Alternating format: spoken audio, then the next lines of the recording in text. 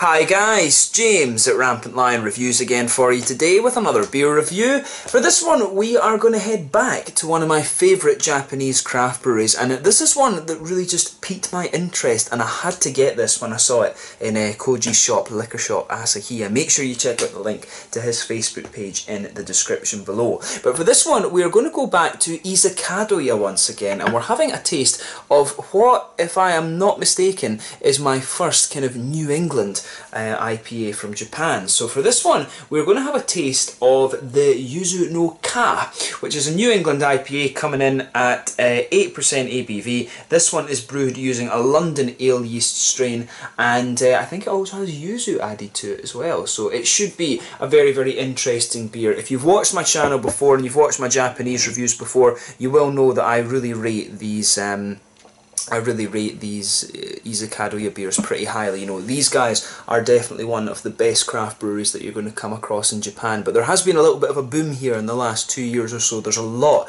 of different little breweries kind of popping up now, which are doing some very, very interesting stuff. The main problem with Japan, of course, is the distribution network. For a country that is very, very advanced, their distribution um, network just does not match that. Actually, it's it's really quite strange. You you know, you get some really beautiful sakes and beers and stuff like like that in certain uh, in certain little villages and stuff, but then they never ever make it outside of that, which is a really terrible shame because the Japanese are very very good when it comes to you know food and uh, beer and wines and sakes and stuff like this. They really produce some very very interesting stuff. But um, yeah, so as always with my reviews, then I'll tell you a little bit about the brewery. If you want to get straight to the tasting, just fast forward. All the usual links are in the description below. That's the brewery website, the link to my other reviews that I've done from Ise Kadoya before. No doubt there will be some more in the near future. There's all the usual social media. If you want to see more beer reviews, do please consider subscribing to the channel. The whole channel, of course, has a geography-based tagging system, so you can go into the homepage and search for beer based on country, city, state, county, prefecture, whatever it is you're interested in.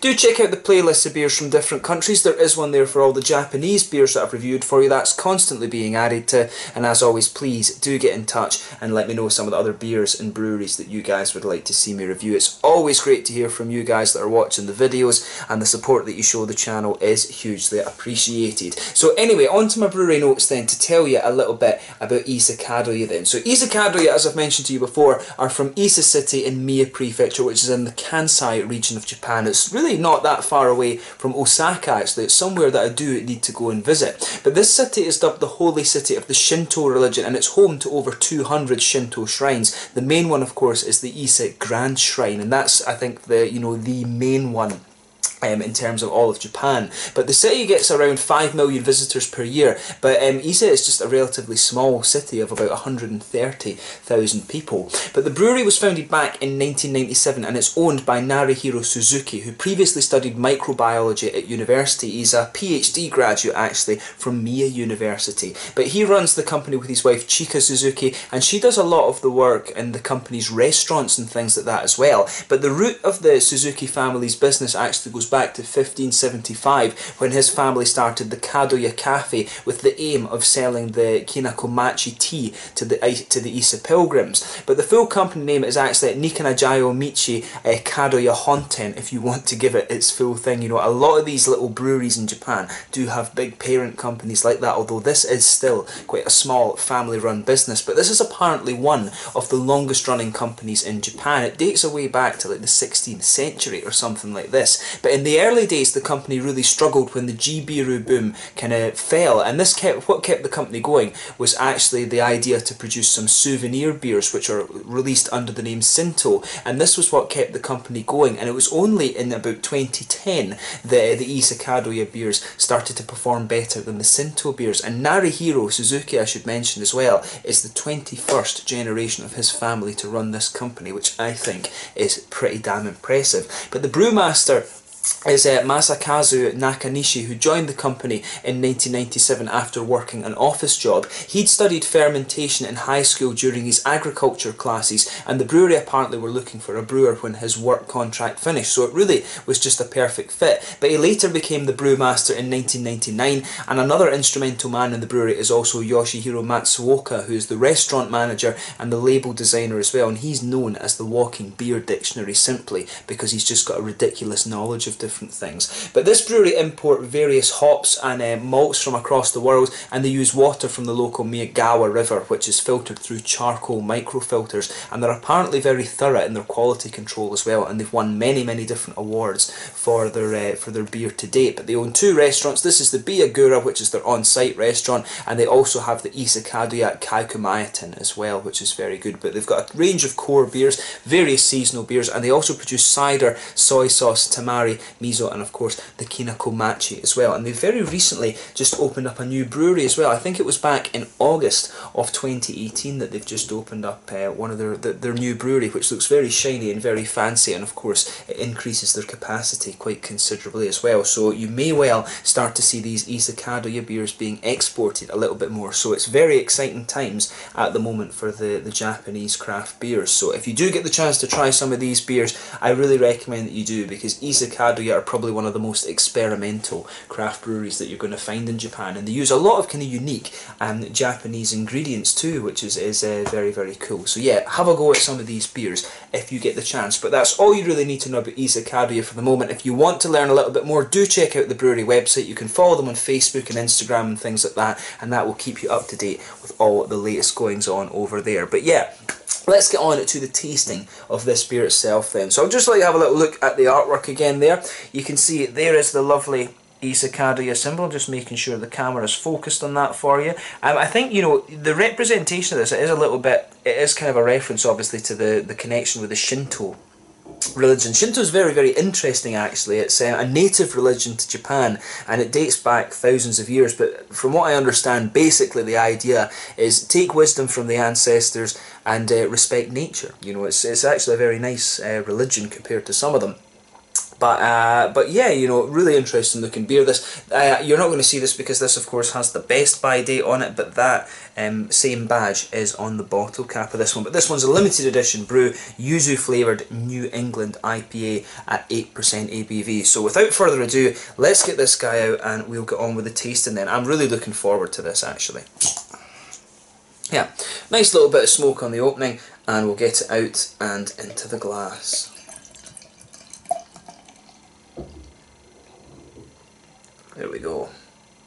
So yeah, in terms of appearance then, this one is, you know, pretty much what you would expect from a New England IPA. It's poured a lovely, kind of hazy, I would say this one's more of a yellow colour than an orange. I think that's fair to say that this one is kind of a bright yellow. I'm looking at the camera on, on the camera control and wondering if that's actually showing up for you guys properly, but this one is definitely more of a nice kind of yellow colour um, than um, an, a kind of orange which you can get from some of these New England IPAs. There's a solid half finger of a frothy white head on this one. I would say at the same time it does have a little bit of a cream tinge to it, so I think a, yeah, cream white head to this one. One or two big bubbles sticking towards the side of the glass and a few little ones heading up towards the bottom of that head there. But you know, overall, nothing overly surprising about this beer in terms of its appearance. If I put my fingers behind the glass, you can see this beer is not really transparent. It's definitely got that kind of haze craze sort of thing to it. But um, yeah, so let's have a closer look at the aroma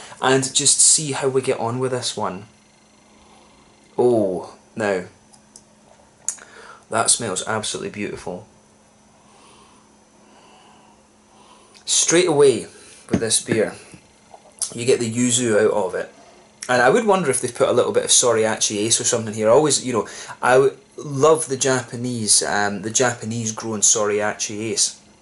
Um, but yeah, this one is um, this is a really beautiful aroma in this beer. Straight away, you've got these nice um, these nice yuzu notes coming out. It's like a very kind of sharp tangerine, but it's also got a kind of um, almost lemon and quite lemon sharpness to it, and a little bit of a lime quality as well. Like yuzu is a very very kind of distinctive fruit, if you like. Underneath that, though, you get a lot of nice kind of grassy and floral aromaticity out of this one. Lovely kind of oaty creaminess coming out of the aroma too, and definitely some nice kind of wheaty white bread. Maybe a little bit of a a kind of biscuity note to this one as well, in fairness. But yeah, the, the yuzu in this one really complements the floral qualities and the grassiness just beautifully. It smells, the thing you'll notice with this one straight away is that it smells very, very fresh.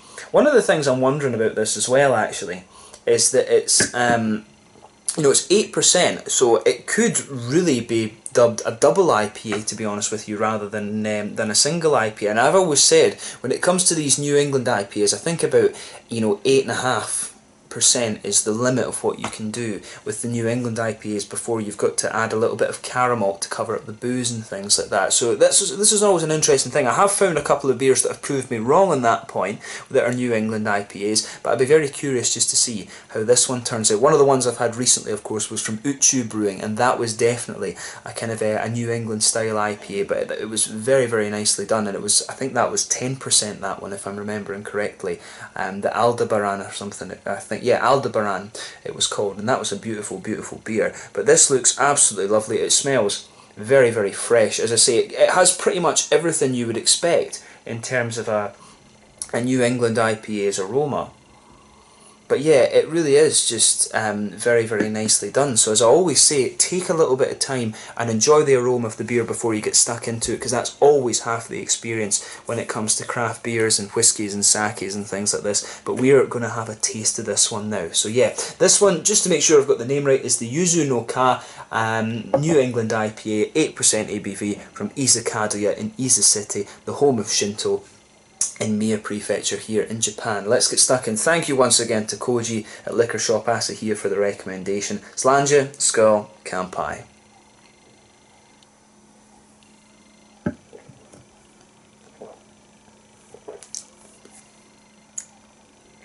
Oh, yeah.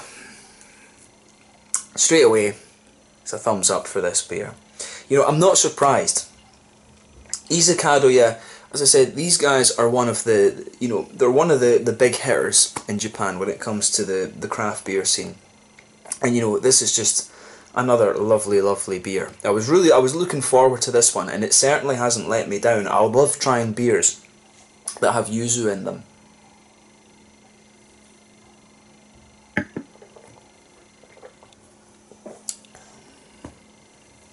But yeah, this is just really nice. I mean, the yuzu is definitely coming out in the aftertaste and it actually suits the New England style very very well. This is the first New England IPA with yuzu that I've had and I think the other ones that I've had have been West Coast IPAs rather than um, rather than New England ones. But the yuzu just suits this style very very well. You know you can even tell with this one, yuzu is quite a punchy flavour if you like, but you can tell with this beer, um, and I think Ise Kadoya were one of the first ones in Japan to start producing these hazy IPAs. You can tell with this beer that there's a very solid kind of base to this one, and then the yuzu is just complementing that very, very nicely. So if you do get the chance to try this one, I highly recommend that you do. It's actually a bit of a shame with these Izakado beers because some of them are very very good but they are just limited editions and unfortunately you won't uh, you won't find them again. It really is a terrible shame. That's the one downside to the the Ise Kadoya brewery but let's try and break this the flavour of this one down a little bit.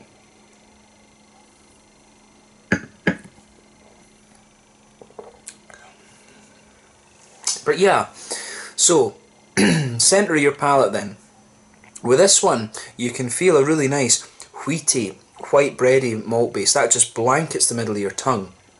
On top of that, you're definitely getting a nice kind of um, oaty creaminess out of this beer, and there's a little bit of a there's definitely a little bit of a kind of biscuity sweetness to this one. I'm actually finding the malt base of this one, it's got a nice creaminess to it, but the wheat, the wheaty qualities are very smooth and sweet. The oats are almost a little bit sweet as well, and then it's got the biscuit in there. I'm finding that the way this malt base comes across is the sweetness of it is actually really nice. I like how everything's kind of going together with this one.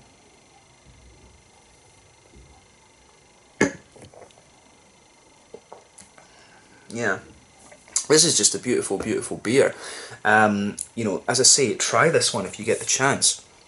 On the hoppy side of things, um, in the back corners of the palate, there's a little tiny bit of earthiness there, but nothing you know nothing out of the ordinary. When you come further forward along the sides of your palate there you can feel that just smooth out a little bit and it gradually pushes its way out a little bit more to be a little bit more slightly spicy and floral and aromatic. And round the front curve of the palate of course you've got a nice kind of um, You've got a nice lighter kind of grassy hoppiness to the beer. And then behind the front curve of the palate of course that's where you get these nice juicy fruity esters that are coming from the hops. One of the things that's also worth noting about uh, these IPAs, when you add fruit to the brew, um, what always happens is that you get the juicy qualities around the front edge of your tongue, and that kind of suppresses a little bit of the IBUs that you're going to get out of the beer and you can definitely feel that nice yuzu quality. The yuzu for me is coming out a little bit later in the flavour. It's got more of a punch into the aftertaste. It, when you first take this beer in, I think it's more about the OT kind of creaminess and stuff like that. But really in the aftertaste, it's the yuzu that starts to take the, the initiative. You know, the, the way the yuzu comes out in this one is very, very nice. It's, as I say, this, this, you know, I'd probably go as far as saying this is my favourite beer that I've had so far from uh, from Issa And to me, again, that that's the one downside to the the to these beers is I'll probably never drink this one again because they only you know they only do it as a kind of one-off brew. They do a lot of beers like that, but it's it's cool. It's experimentation. That's what craft beer is all about. But yeah, you can definitely feel these lovely yuzu flavours kind of around the front edge of the tongue, and they mix very well with the kind of grassy side of the beer and a little bit with the floral qualities as well. Um, but yeah, so with this one, you really have a very nice kind of, um, behind the front curve of the palate, you've definitely got a little bit of a kind of lemony sort of thing to this one. I would wonder, you know, I think it might be Sorachi Ace that's in here, but at the same time, it could be a little bit of Centennial or something like that. I think the Centennial um, hop is one that would complement this really nicely, or um, and I think there might be a little bit of Ekuanot or something too, because the beer definitely has a little bit of that almost limey quality as well. And as I said to you, I've always found that the yuzu is almost like a very sharp kind of mandarin, but just with an element of um, lemony and, and kind of limey citrus to it as well. It's a very it's a very unique fruit. You just need to try it uh, for yourself and see what you think. But the I wouldn't be surprised if they've used a little bit of Centennial and Ekuanot in this one just to kind of um, you know to, to balance that out because I think those two hops would really complement the yuzus very very nicely. So yeah, I'd be very curious to know about that. But again, you've also got the Japanese grown Sorachi Ace, which is another beautiful hop, but very hard to come by these days actually. And home brewing, of course, in Japan is uh, it's basically illegal actually. Um, there's a lot of complex laws. Um, that kind of prevent people from brewing their beer. It basically favours the big corporate companies here in Japan. Um, but yeah, it's a lovely beer this one. You know if you like yuzu and you like the New England IPAs this to me you know it just puts the things together very very nicely. I think that's a good way to sum up this one. But you know I've never had a bad beer from Ise Kadoya they're always doing some very very interesting stuff and experiment with new hops and different fruits and different styles and all of these kind of things. So have a go at some of the beers from this brewery. They're they really are very very good. Um, in terms of the mouthfeel of this one then um, I would say, you know, it's a mid-bodied beer. The carbonation is, is smooth. You know, it does have an element of that Japanese, typical Japanese drinkability to, to it. It does have a little bit of a prickle from the carbonation. The mouthfeel overall is a little bit kind of creamy.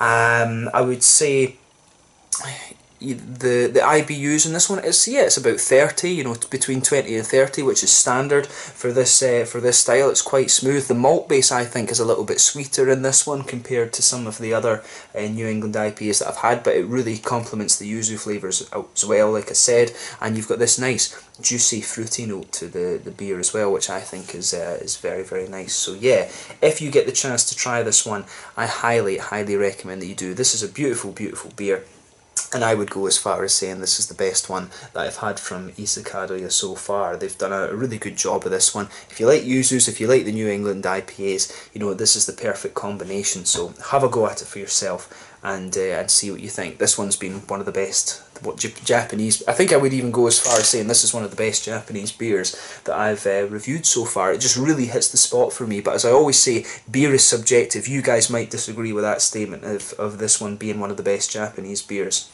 over the last little while. But yeah, lovely, lovely beer this one, and I've certainly enjoyed reviewing it for you, so I hope you guys have enjoyed my take. So yeah, until the next time, um, please like, subscribe, share, all the usual YouTube stuff. Let me know your own thoughts on this beer in the comments section below. Let me know what your favourite beers are from Ise Kadoya as well. I'm sure I'll return to these guys in the fairly near future. Thank you again for watching, and I will catch you guys very soon. This one was the Yuzu no Ka New England IPA coming in at 8% ABV from Ise Kadoya in uh, Ise in Mie Prefecture here in Japan. A lovely, lovely beer this, and I've really enjoyed this one. So until the next time, Slanger just now, Skull and Kampai. Make sure you try some of these Ise Kadoya beers. Skull.